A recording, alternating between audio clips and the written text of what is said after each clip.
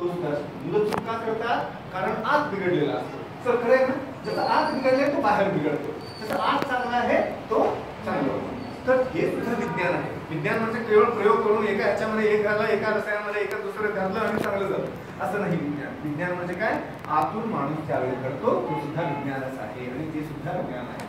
त्याच्या बरोबरीने आपण एक साधारण पंधरा वीस दिवसामध्ये एक महत्वाचं काम करणार आहोत. या कारण त्यावेळी मी प्रत्यक्ष सर येतील. कदाचित आणि त्यावेळी आपण एक काम करणार आहोत. मला तुम्ही त्यावेळी माझ्याशी गप्पा कशावर मारणार आहात? ऑनलाईन मारणार ठीक आहे. ऑनलाईन नाही?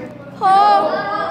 मला कोणी पाहिजे होतं ऑनलाईन गेल्या वेळी नाही ना सर पासवर्ड. तर यावेळी हे सर काय करतील सातवीच्या वर्गांना ग्लोबल क्लासरूमला आणणार ग्लोबल क्लासरूम आता हे जे आहे ह्याला इंग्लिशमध्ये काय म्हणतो आपण? क्लासरूम एका क्लासरूम मध्ये किती मुलं आहेत? आता साधारण पन्नास मुलं आहेत चाळीस मुलं